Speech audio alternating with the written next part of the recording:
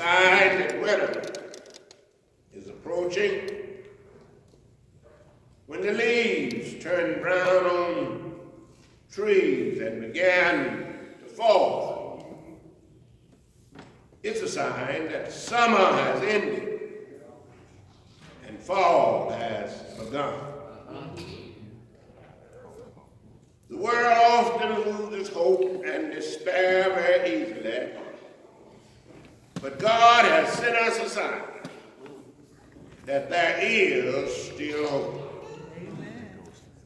Oh, my friends, with hunger, devastation, war, and pestilence everywhere,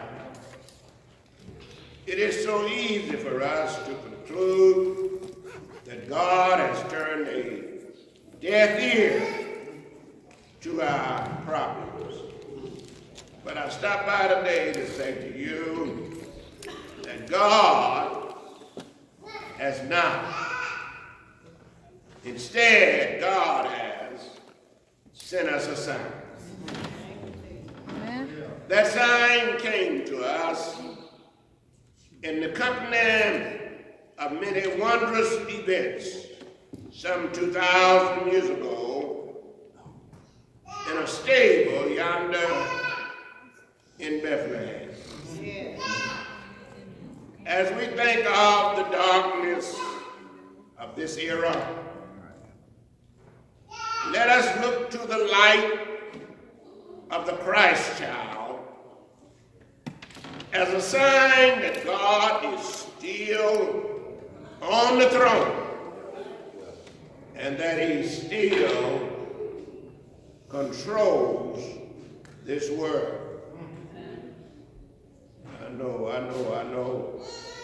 Every time you turn on the TV, whether you're in Kansas City or California, Louisiana, wherever you are, looks like not a day go by that ain't something about Trump. Amen. We're not living in Trump's world.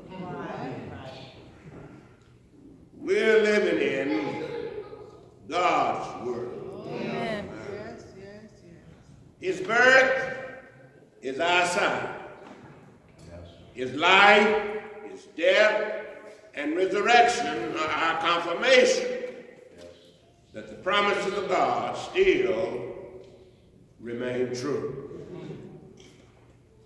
Our text this morning first considers that there are some who do not want a sign from God. The subject of this chapter of Isaiah is King Ahaz. King Ahaz was king of Judah in the southern kingdom. Ahaz, Ahaz, my friends, was disturbed over the possibility of Israel of the northern kingdom, along with Syria, a foreign nation, getting together to overthrow his kingdom. The details of a plan made to gain an ally in this fight is recorded in 2 Kings chapter 16, verses 7 and verses 8. A man he sent tributes, a man of silver and gold, to the Assyrian king to persuade him to help him protect Judah. Ahaz felt confident that Assyria would help him and he could be free to continue in idolatry as in times past.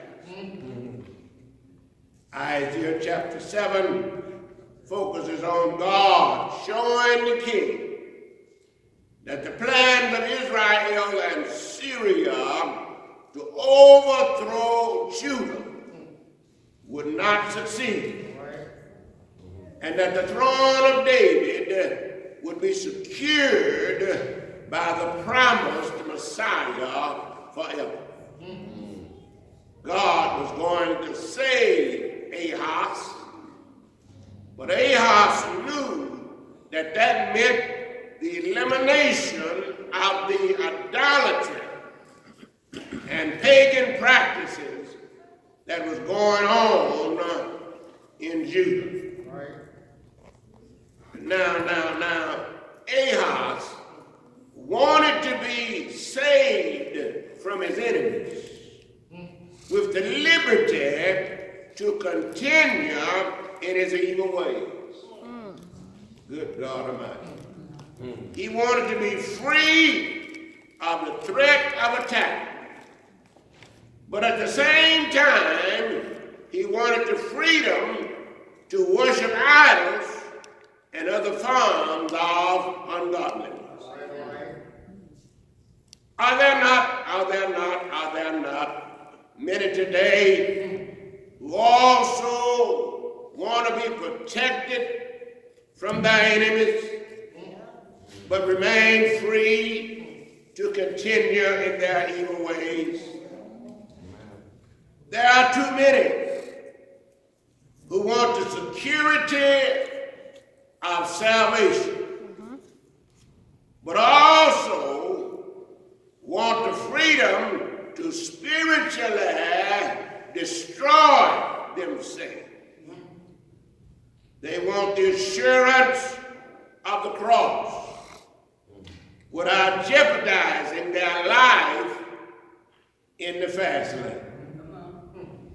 They want to go to heaven but at the same time, they want to go through life as fast as they can, grabbing all the gusto that they can. Good God Almighty. At verse 7 through 10, God speaks to Ahaz and says, I will take care of these problems for you you don't have to worry about these enemies of yours. Just let me handle it.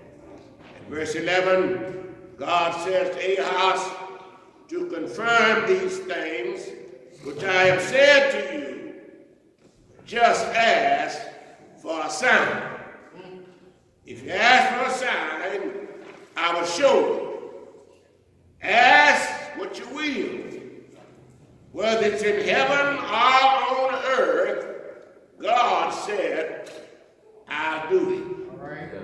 Good God Almighty. Ahaz rejected God's offer to give him a sign. Well, why? He did not need a sign to let him know God's power. He knew it and had witnessed it in many times past. He did not want God's help because he felt he already had his bases covered without God. He responds in verse 12 that he did not want to tempt God. Yes. Oh, my friends, there are, there are, there are many today do not turn to God because they think they have their bases already covered. Their response is, I don't need God for my daily living. I have a good job at General Motors. Uh, my business is doing well. My my, my, my, my, my job, my bases are covered. Furthermore, with these, I can freely continue this worldly lifestyle that I enjoy. Those who desire to do God's will reject Ahaz's approach and they embrace Gideon's example. Right. Hmm. You remember Gideon, don't you? Yes. As he, as he felt led to take 30,000 men in the battle, Gideon asked the Lord to send him a sign in Judges chapter 6, verse 37 to 40. Gideon placed a woolen fleece on the ground. And he asked the Lord to make the fleece wet. Amen. But let the ground all around it be dry. When it was answered, he asked the Lord for another sign. By doing it, but he wanted the Lord to do it just the opposite this time. Do I have a witness? Oh. Amen, amen. It is no crime to ask the Lord for a sign. Asking for a sign is not a sign of doubt, but it is a sign you just want some confirmation to make sure that you that your message is right. But when we ask the Lord for a sign, we need to be careful because in Second Thessalonians 2 and 9 it reminds us that Satan has the power to create and emulate signs and wonders that look like mm-hmm. they come from the Lord. You remember, don't you, when Moses stood before Pharaoh, he presented the Pharaoh with many signs and wonders yes. to confirm that he spoke the will of God. Yes. But Pharaoh's physicians, amen, magicians, amen, we created several of his sons. Moses threw down his rod and it turned into a snake. Amen. And then he went over and poured some water into the river Nile, and it turned into blood. Yes. Amen. And then uh, the magicians of, uh, uh, uh, of the Pharaoh, amen, threw down their little rods, and they turned into serpents. And then they messed around and took some water and it turned into blood. Amen. And then Moses rod, then turned around and ate up all of their little rods and snakes. Good God Almighty. Amen. You may be able to do, devil, what you think God can do. Amen. But God can do it better and bigger. Do I have a witness? We pray to the Lord for help on our light heel. And then I, amen, if we pray to the Lord for help on our light bill, and then a cashier down at the local supermarket gives us $20 too much in change on the surface it appears like a sign from the Lord. But Satan has tempted us when we were in our lowest point by appealing to be an answer to prayer. Some signs, my friends, may be sure signs, but they're not signs from the Lord. Negro folklore says when your right eye jumps, it's a sign that good news yeah. is coming. When your left hand itches, it's a sign that some money is coming. Amen. When your right hand itches, it's a sign that you will lose some money. Amen. When your left eye burns, it's a sign that somebody is talking bad about you. Amen. When your right ear burns, it's a sign that somebody is talking good about you. When your nose itches, it's a sign that somebody's coming your way. Amen. When the bottom of your foot itches, it means you'll soon be walking on strange ground. These may sometimes be true, but they're not signs from the Lord. A sign from the Lord is confirmed in word, empowered by the Holy Spirit, and instituted by the hand of God. The Lord told Ahaz, you don't want a sign, but I'm going to give you one anyway. I'm going to solve your immediate problem. But uh, I'm going to give the world a sign a few years from now to remind them that the Lord is still on the throne. A few years from now, a virgin shall conceive and bear a son.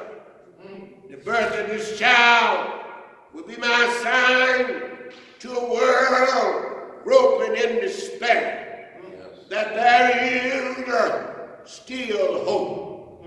This child shall be my sign. When darkness covered the land, that I'm able to turn darkness into light. That although war is talked about in every corner. There will be peace on earth and goodwill toward all men. That although problems uh-huh, make life difficult, that God will make a way somehow. This child is a special child. For Isaiah said in chapter 9, verse 6, from unto us a child is born. Unto us a son is given. And the government shall be upon his shoulder. His name shall be called Wonderful. Counselor the mighty God, the everlasting Father, and the Prince of Peace. This child um, is a sign of unending love. John 3.16 reminds us that God so loved the world that he gave us his only begotten Son, that whosoever believe in him should not perish, but have everlasting life. Oh, my friend, this promise was made to Isaiah 700 years it actually happened. But this morning in the Gospel of Luke, do I have a witness? John, Luke says, I'm in the sixth month, amen, God sent the angel Gabriel over to Nazareth, a town in Galilee, to a virgin mm. pledged to be married to a man named Joseph. A description of David, the virgin's name was Mary. The angel went to her and said, Greetings, you who are highly favored. The Lord is with you. Mary was greatly troubled at his uh, salutation. and uh, he said to Mary, you are going to give birth to a child. Mary wanted to know, how can this thing be? Because I've never been with a man. I tell you, God can work it out. The angel said the Holy Spirit is going to hover over you and overshadow you and you will get pregnant. Good God Almighty. And Mary gave him permission to do it. And the angel uh, went on and left. But Mary, good God Almighty, got pregnant. Do I have a witness? And Jesus born uh, nine months later in a stable uh, yonder in Bethlehem. If God says it, it will happen. He's able to do it. Thank God today. He's able to give us a sign. And that sign is Jesus Christ. It's Jesus Christ. It's Jesus Christ. In these days and in these times, all my friends, people want everything else except Christ. Because when you have when you get Christ, you have to let some other things go. Amen. But he's the most valuable gift. Do I have a witness? Amen. Amen. Amen. When we first received Christ, amen, we we we wanted him, but we didn't want him real bad. Amen. Because we kept on doing the side step. Do I have a witness? Kept on going to the club. Do I have a witness? You just kept on, good God Almighty, twisting that thing. Amen. All night, Saturday night, and then you come into the church and get in the choir. Amen. With the red eye. Good gracious alive. But then an old mother would pull you to the side and say, baby, you can't do it like that. You're gonna have to, you're gonna have to let go and let God. Amen. And then finally, you let go and let God. Amen. Amen. But that don't mean, amen, that the devil is through with you. Because he'll visit you right in the church house. Do I have a witness? You can be sitting right up in here and a thought go through your head. Listen, straight out of hell as it can be. Good gracious alive. Amen. That debonair fella walked down the aisle. Look at that. Amen. I wonder is he married? Somebody said, no, he ain't married. what? Amen. Now you just stop listening. you are. Your mind for the rest of that service is waiting on the benediction. Amen. Because you got some information to give. Amen. Amen. Amen. Amen. The ladies are not quite as bad as the men. Amen. Lady comes walking down the aisle. Amen. And often the deacon's supposed to be watching the money.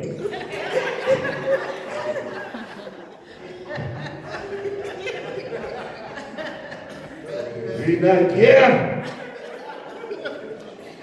His attention will switch. Amen. He watch all the way to asleep. Amen. He waits. He really like to see her go around the corner. Some of these ladies are pulling. Amen. But we in the house of God. Amen. And, and, and, and, and, and, and in here, amen. Everything else has to be on hold. Amen. There's a time and a place for all things. this is not the time, nor the place. We come here to praise the Lord for his son that he gave us, which was his son. Say thank you, Jesus. For your son. For your son. Amen. Amen. Amen. If he had not come, you and I would still be in our sins. Yes. But thank God he came. Amen. Amen. He died, was buried. Amen. If, if he had not got up, we'd still be in our sins. Oh, thank God he did get up. Amen. Tells us that Amen. We confess him with our mouth. The Lord Jesus believe in our heart that God what? Raised him from the dead. He said, thou what? Thou shalt be saved. Amen. Amen. That means you can be saved today. At any time, at any place then you have to realize who you are. That you are a sinner.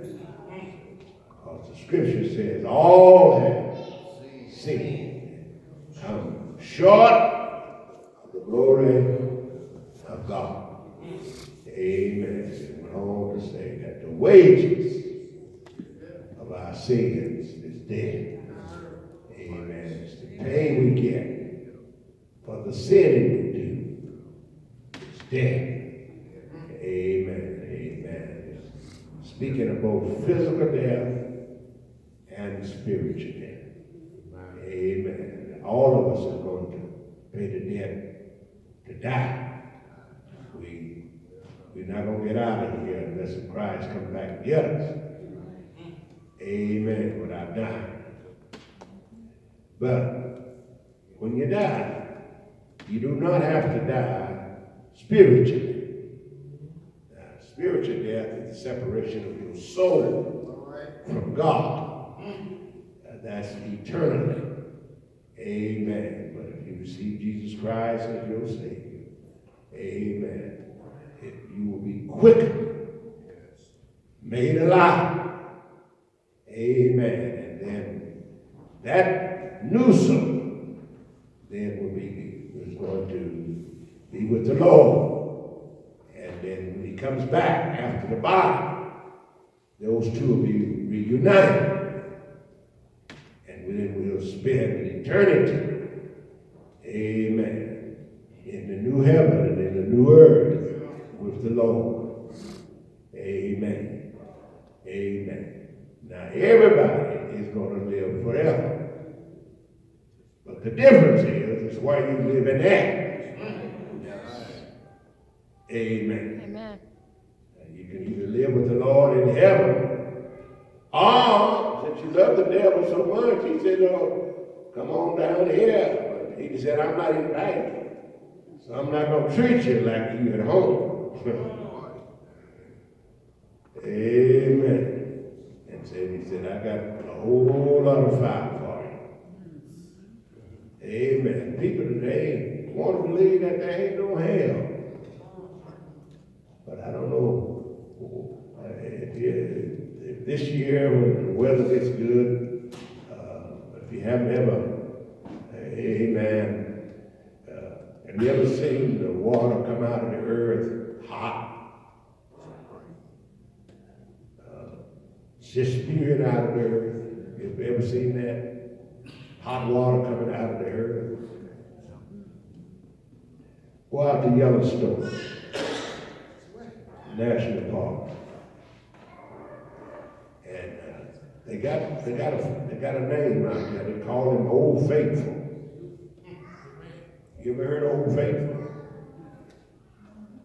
At the same time, every day, people gather they, they built a they built a building there. They got benches where you can come and sit at, at that hour every day. Amen. Hot water shoot the earth, all the way up, higher than this building. Amen. And all around there, there's, there's springs, there's well, hot water running all the time. That let us know that there's fire in the earth. Amen. Amen. And every so often, amen, the Lord will belch, and we call it a volcano. Spew it out. And and then and then and then, and that hot flame just, roll down the earth. Amen. That's that's coming out of hell. God bless you. I, I just wanted to I just wanted to give you a little synopsis. And uh, make up your mind that that's not where you want to go. That's not where you want to go. Amen. Amen. You can come and come to Jesus. Come to Jesus. Come.